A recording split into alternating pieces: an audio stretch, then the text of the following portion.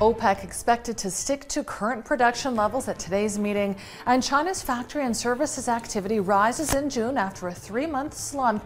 You're watching the Daily Brief with Forbes. I'm Ramia Farrage. OPEC is expected to stick to a previously decided output boost at its meeting today, despite pressure to further increase production. After the EU ban on Russian oil imports, the OPEC Plus cartel agreed at their last meeting in early June to pump more than expected. But prices continue to be high, and analysts say a respite is not in sight since OPEC Plus hasn't been able to meet its present targets. China's factory and services activity picked up in June, fueled by the easing of COVID 19 restrictions in major cities. The non manufacturing purchasing managers index, which is a key gauge of activity, defied expectations and surged to 54.7 points in June after three months of sluggish performance. It was the first time since February that the reading was above the 50 point mark, which separates growth from contraction.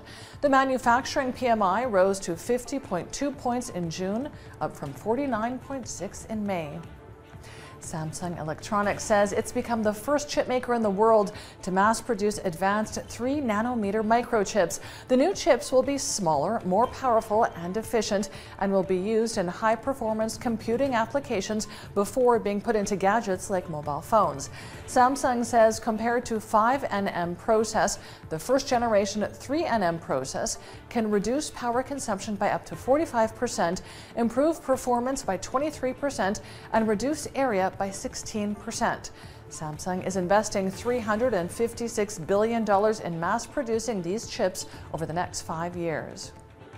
Indian companies are looking to boost their operations in Russia after the exodus of Western and Japanese companies left a huge gap.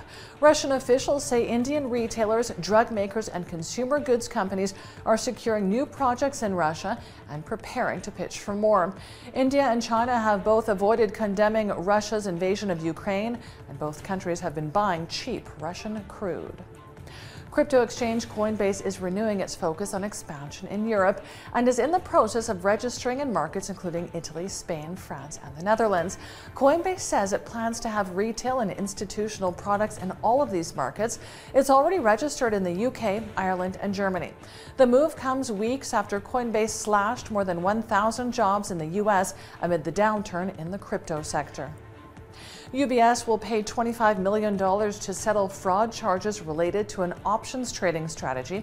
The Securities and Exchange Commission says the wealth manager and banking group marketed and sold the yield enhancement strategy to about 600 investors through its platform of domestic financial advisors from February 2016 through to February 2017.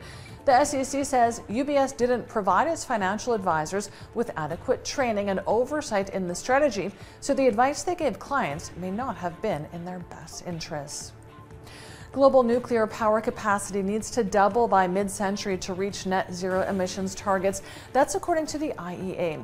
Achieving net zero emissions by mid-century could give the world a chance of capping temperature rises at one and a half degrees Celsius above pre-industrial levels. Amid the current global energy crisis, governments are also looking to reduce reliance on imported fossil fuels to ensure their energy security.